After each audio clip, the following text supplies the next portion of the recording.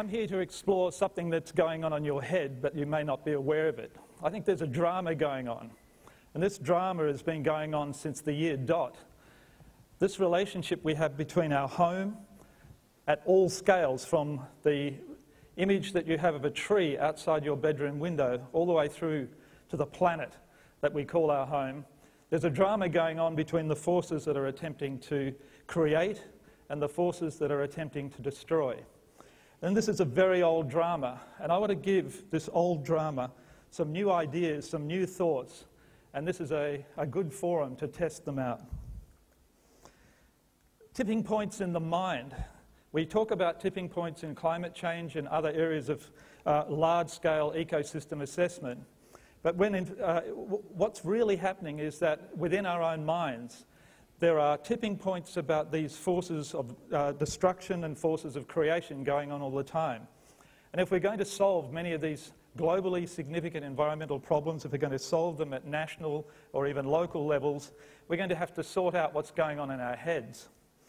Kate McDowell has uh, produced this artwork and it was featured in a New York Times magazine article on eco-psychology earlier this year.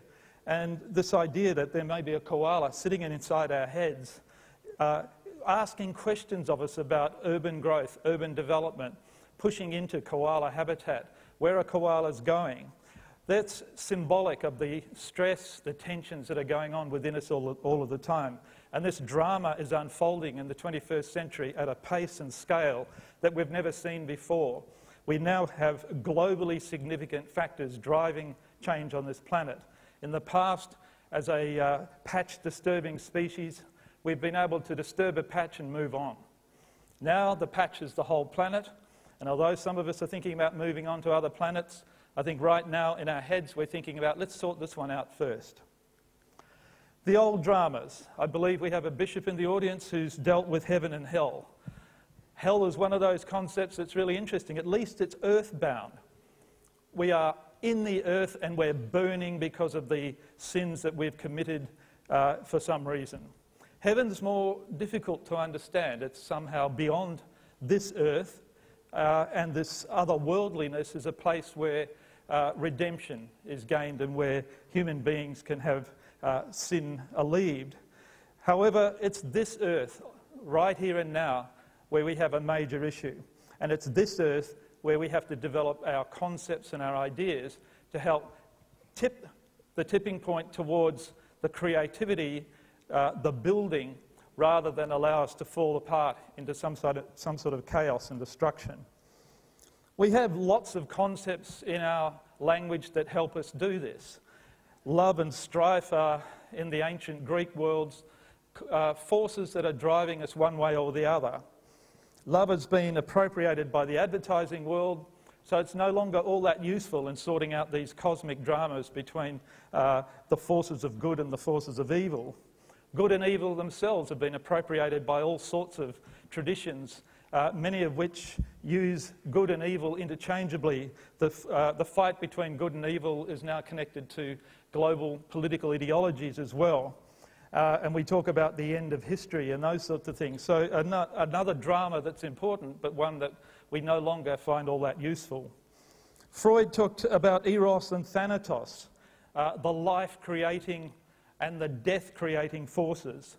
Uh, Freud himself didn't talk about thanatos all that much, and it doesn't seem to be a word that's caught on much in the language. We don't analyse the destruction of society or ecosystems using the concept of thanatos.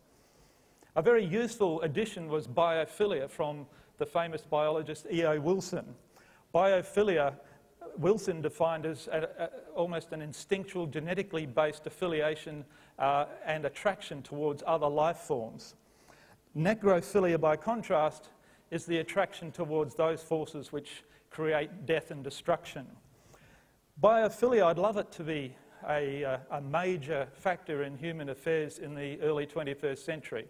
But if it's hardwired, it must be weak because the forces that are destroying seem to be far outweighing the biophilia, the forces which are hardwired in us to create. So it looks like we need something else. We need some culturally uh, acquired or culturally transmitted force power concept which is going to do more than what biophilia is doing right now. So, this drama that's going on in your heads can end in tragedy. Cobb in 1966 uh, presented us with the apocalypse after perhaps the nuclear Armageddon. They were the issues that in the 60s were really uh, important uh, in uh, maintaining our attention on this big drama that's going on between the forces of creation and destruction. It's been going on much longer than that. Munch in 1893, not long after the explosion of Krakatoa, uh, having seen the uh, amazing uh, sunsets and dawns that were occurring worldwide, thought that this was perhaps a, uh, a, a, a, foretelling of the apocalypse. And so we have this famous image, which uh, has been stolen and acquired by someone else now.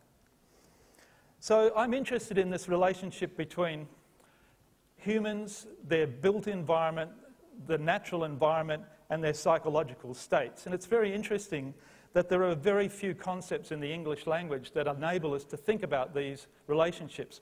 They're vital. Our relationship to our home environment is one of the most important relationships that we have in our whole existence, and yet our language is somewhat impoverished when it comes to explaining that relationship, particularly when it's threatened. So I've started to develop a typology of what I call psychoterratic diseases. So psychoterratic, it's not in the dictionary, but it's earth-related mental health issues. So if your home environment is being violated, desolated, uh, or in some way altered that you find negative or distressing, then it falls into a psychoterratic category. Equally, I could come up with a typology of psychoterratic disorders that are uh, uh not disorders, uh, uh, things that are actually very positive. And so the, the rest of my talk will look at this drama between these forces of creation and the forces of destruction through this concept of psychoterratic diseases. So we have now, under global climate change and global development forces, anxiety about what's happening. So we can talk about eco-anxiety as a first level response to the stressors that are happening to our, uh, our natural environment and, uh, and loved built environments. Richard Louv talks about nature deficit disorder in our children. I think about that same problem as uh, artifact overload disorder in adults who are so uh, infatuated with technology and artifacts that they fail to take their children into the woods or into nature. Eco-paralysis is when you've got so much information coming in about the negatives about the environment that there's absolutely nothing you can do about it. Most of you know that changing the light bulbs is not sufficient to address the problem of global warming. I've created the concept of solastalgia, which I'll define and say something more about shortly, but it is a new form of psychoterratic disease, or newly defined, but one that I think humans have experienced uh, for a great deal of their history. The concept of nostalgia is a psychoterratic concept. It, when it was created, it meant the kind of homesickness and melancholia that people feel when they're absent from home and wish to return. So, particularly afflicted uh, soldiers fighting on foreign shores, these soldiers would become homesick, the only cure for nostalgia was to send them back home again, to repatriate them. And this repatriation would be part of the healing process. They would be healed and then sent back to the front only to be killed. So, eco nostalgia in the 21st century will be where our uh, Arctic landscape, for example, just disappears, and people who have been away and then come back to it find that it's no longer there the melting of the permafrost and that sort of thing. And global dread, this issue that uh, when you wake up in the morning and hear Radio National telling you that there's uh, a giant iceberg that's just fallen off the uh, Antarctic uh, landmass, uh, it's uh, going to raise the sea level by four metres and cause massive problems worldwide. It's the sort of feeling that you have when the news is all bad. So the new drama is between what I call solastalgia, this idea that you lose solace in your home environment. You feel desolated about the loss of a loved home environment. You feel isolated and powerless in the face of forces that are creating this kind of destruction. What sort of forces? Well, with my colleagues Linda Connor, who's Professor of Anthropology at Sydney University, and Nick Higginbotham, who's Associate Professor of Social Psychology at Newcastle University, we've engaged in study of people who have been affected by large-scale mining in the Upper Hunter, and power station fallout. So that's one sort of an, of an example. Others, I've had people ask me, can they study their solastalgia uh, with wind turbines on the Fleurieu Peninsula in South Australia? Peri-urban chicken farms on the outskirts of Brisbane, airport noise around Sydney. These people are all experiencing change to their environment that they find negative. It's a lived experience of that change. It's not nostalgia. And soliphilia has been created by me this year to really describe the opposite of solastalgia, a new philia that's needed in our culture and our politics to return solace, to give us a sense of the unity or the solidarity that's needed to oppose the forces that are destroying life and life processes.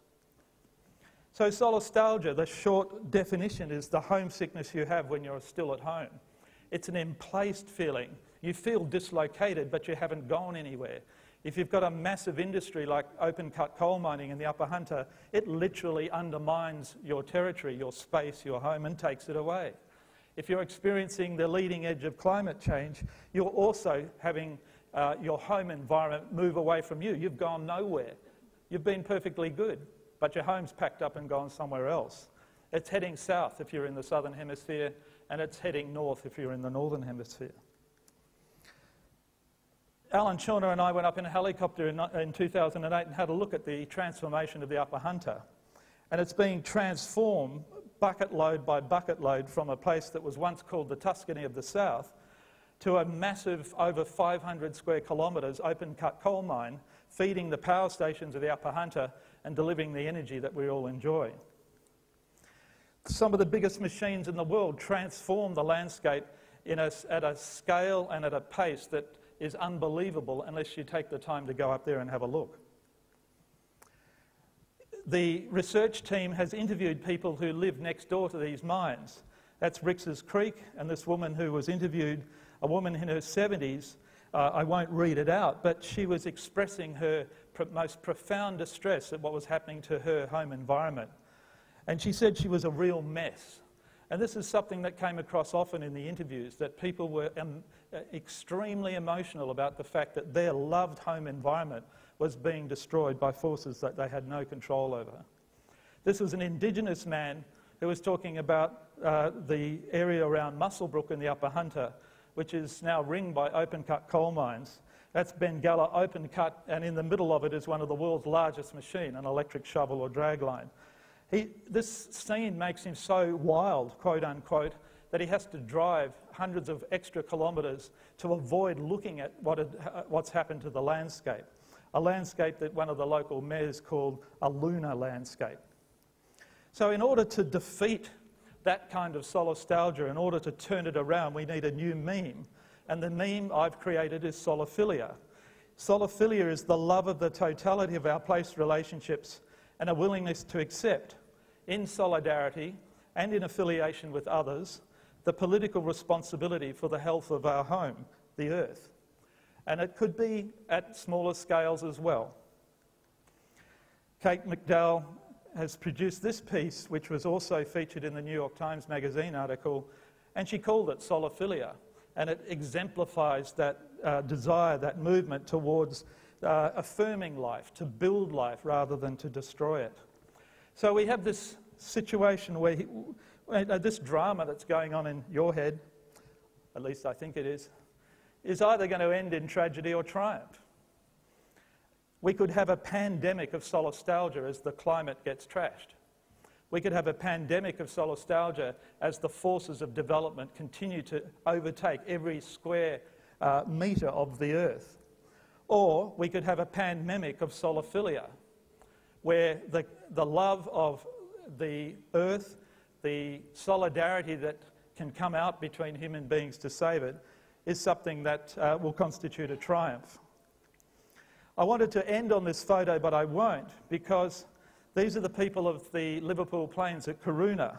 They engaged in soliphilia, they collaborated, their cows, their dogs, their babies all came together and they're op- uh, opposing the longwall mining of the Liverpool Plains, one of the most fertile areas of agriculture in the whole of eastern Australia. However, They won in the courts. They've been fighting for years. They've blockaded their farms to try and keep agriculture life forces going.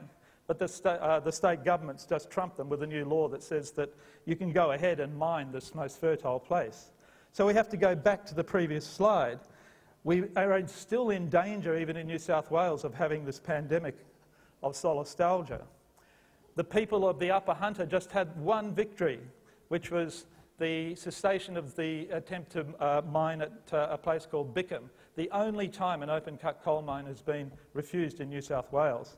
I think we need a pandemic of soliphilia, and I would encourage the TED audience and the rest of New South Wales to make sure that uh, we, we go in that direction and not in the direction of a pandemic of solastalgia.